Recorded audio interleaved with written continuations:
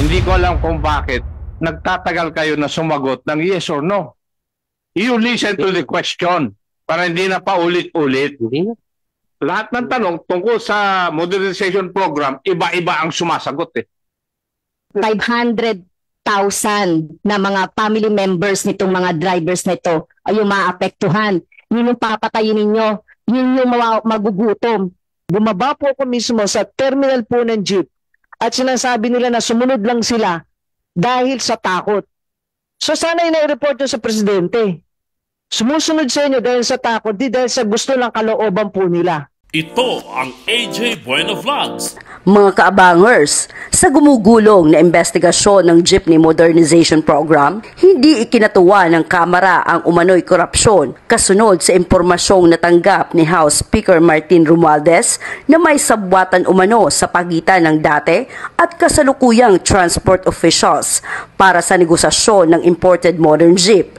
Ayon kay Franz Castro, 500,000 family members ang maaapektuhan na hindi makakabiyahe mula January 31 dahil sa hindi ito nakapag-consolidate. So ano na mangyayari dun sa mga jeepney na hanggang ngayon nag nagmamaneho pa rin ng kanilang sariling ano no jeepney. So after Ju- January 31, sagutin na lang ako ng yes or no. Makakabiyahe pa ba sila individually or hindi na?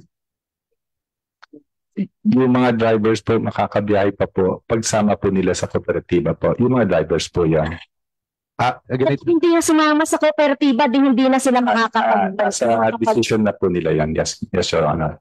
As a pa driver na po yan. It's their decision pa. So ang ibig sabihin, Mr. Chair, after January 31, Hindi nagustuhan ni na. Representative ng, Romeo ano, ng mga dahil sa hindi masagot ang mga tanong ng tama at So, iba-iba ang natin, sumasagot. ano Malinaw na kaduda-duda ang mga sagot na taliwas sa sa tanong ng mga mga Number drivers 3, na to. ipinangako naman ng. Office of Transportation Cooperatives o OTC ng Department of Transportation o DOTR na suportado nila ang mga PUB drivers na hindi nakapag-consolidate na makahanap ng trabaho sa loob ng mga nabuong kooperatiba o korporasyon. Hinimok din ang mga apektadong drivers na sumali sa mga nabuong kooperatiba at korporasyon para makapagpatuloy sa pagtatrabaho bilang mga PUV drivers.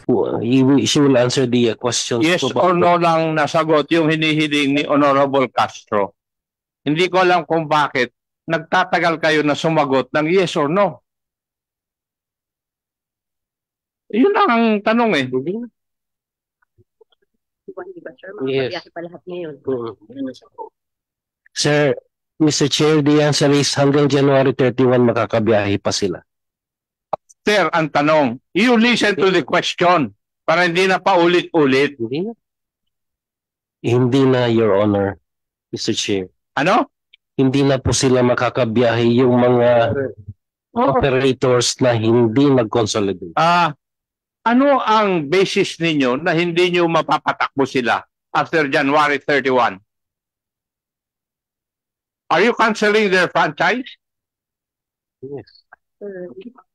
After January 31, uh, we will be canceling their, we will be initiating proceedings for the show cause order muna uh, for them to answer kung bakit po Eh, kailangan nilang makancel yung, uh, kailangan silang tumuloy sa kanilang prangkisa. Chairman, Yes po, sir. if you if you read the uh, gist of the uh, press release of the speaker, ang isa doon po na na essential uh, ingredient doon sa sinabi niya is you should look after the welfare of the driver. Samantala, panoorin at pakinggan natin ang mapang-uyam ng mga banat ni Romeo Acop.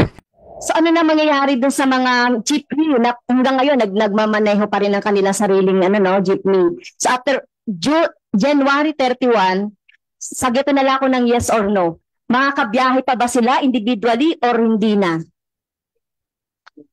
Yung mga drivers po makakabiyahe pa po pagsama po nila sa kooperatiba po. Yung mga drivers po yan. Ah, again, At hindi na sumama sa kooperatiba, di hindi na sila makakapag... ah, sa decision na po nila yan. Yes, yes, Your Honor.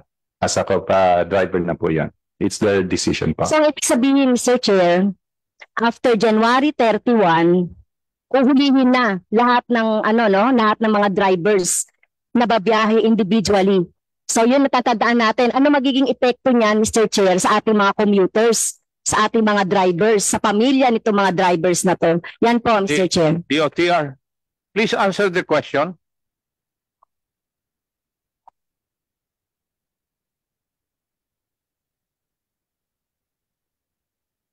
Mr. Chair, may we request that the board member Mercy Lanes be acknowledged? He, will- she will answer the uh, questions. Yes or no lang nasagot yung hinihiling ni Honorable Castro.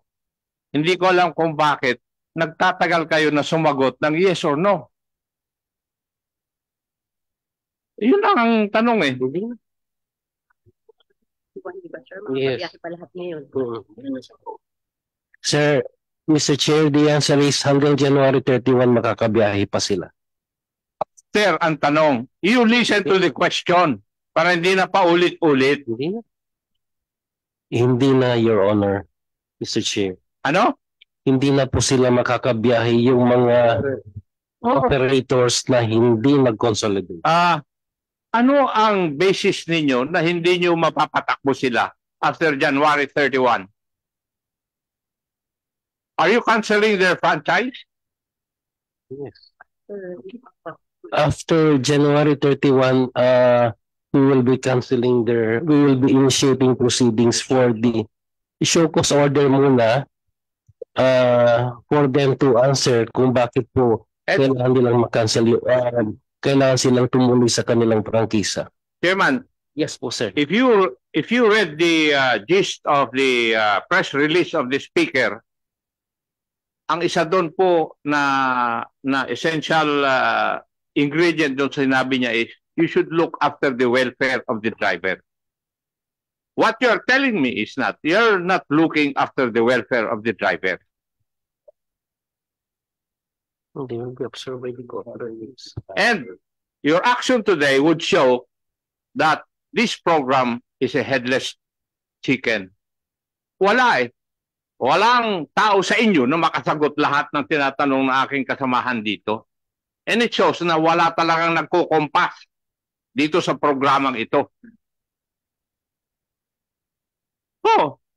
Kasi lahat ng tanong tungkol sa modernization program, iba-iba ang sumasagot eh. Di ba? And it shows na nobody is in control of this program. And maybe that is the reason why anim na taon na nandyan pa rin tayo sa 10% ng consolidation. Di ba? Yung ra- rationalization ninyo, 10% pa rin. Mamaya, tatanungin ko nga kayo, alin ba ang nauuna dapat sa programa ninyo? Yung route uh, rationalization o yung consolidation? Hindi ko maintindihan kung bakit sentrong-sentro yung consolidation sa inyo eh. Thank you. Mr. Chair, Ah, Madam, tapos na po kayo? Hindi. Tapos na po Mr. kayo? Chair, Yes, uh, Mr. Chair. So, ah, siguro um, irarap up ko na lang ano. So, Dise- January 31, hindi napapayagan yung mga drivers may na may individual prangkisa. In effect, Mr. Chair, 500,000 na mga family members nitong mga drivers na ito ay yung maapektuhan. Yun yung papatayin ninyo. Yun yung mawa- magugutom sa panahon na ito. So papayagan kaya yan ng, pas, ng, ng present administration, Mr. Chair. Mr. Chair, Uh, are you true, uh, Your Honor? Yes, ma'am. Thank you. Mr. Chair, kinaibatin lang, Mr. Chair. Tungkol din sa Opo, opo. Ah, sige. I'll allow. Kasi Mr. Chair, yung sinasabi po nila na na-meet nyo po yung 76%, yan po ay isang kasinungalingan. Kasi po sumunod ang mga drivers at operators na masukal na masukal sa kalooban po nila na magkipag-consolidate. Dahil sa takot nga po nila na pagdating po ng January 31, wala na po silang pasada. Yan po ay interview namin. Bumaba po ako mismo sa terminal po ng jeep at sinasabi nila na sumunod lang sila dahil sa takot. So sana ina-report nyo sa presidente. Sumusunod sa inyo dahil sa takot, di dahil sa gusto lang kalooban po nila. Thank you po, Mr. Chair. Chair, ano lang, ano, tapos na to Sandali, last. sandali lang. Ah, kasi kung pag-ibigyan ko kayo lahat, eh, makukuha na si, ma- baka magalit bigla si Honorable Marcoleta na kasunod dito. Ang vlog na ito ay bukas sa anumang opinyon, pahayag o mensahe.